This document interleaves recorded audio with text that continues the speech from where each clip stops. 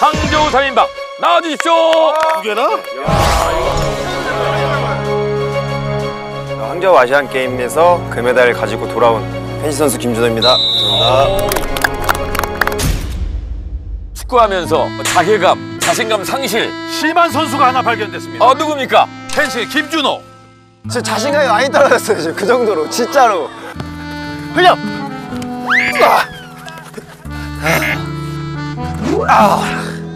감각이 많이 떨어졌어. 아 준호 갔네. 벌써.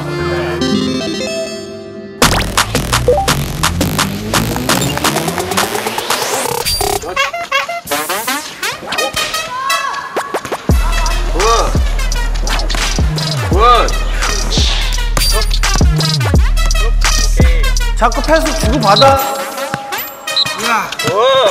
주고 받아 계속. 오케이. 또 중앙샷. 오케이. 굿.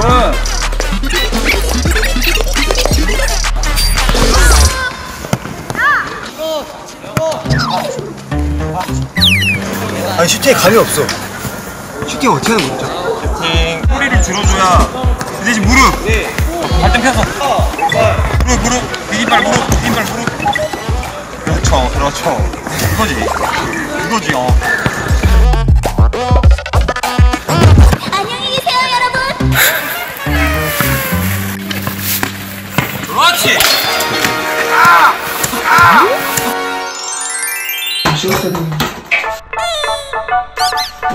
패스, 아빠 패스. 뻥.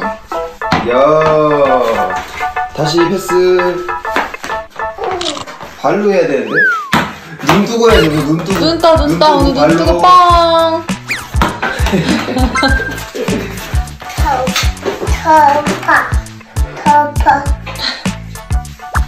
오. 은혜야, 은혜야, 아빠랑 축구하자. 자, 은혜야, 봐봐. 은혜야, 봐봐. 빨리 축구해. 옳지. 어, 어,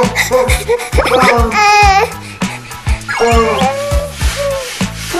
그렇지. 잘해서 한 번 더. 좀 잡아. 자. 어, 잘하는데. 어. 한번 더. 하나, 둘, 셋. 뻥! 그렇지.